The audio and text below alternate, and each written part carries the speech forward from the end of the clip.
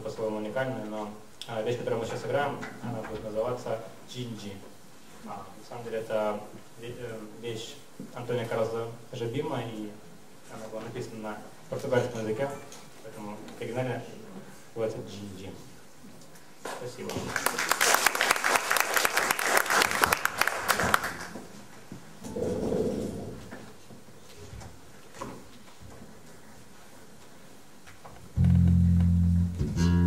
Mm-hmm.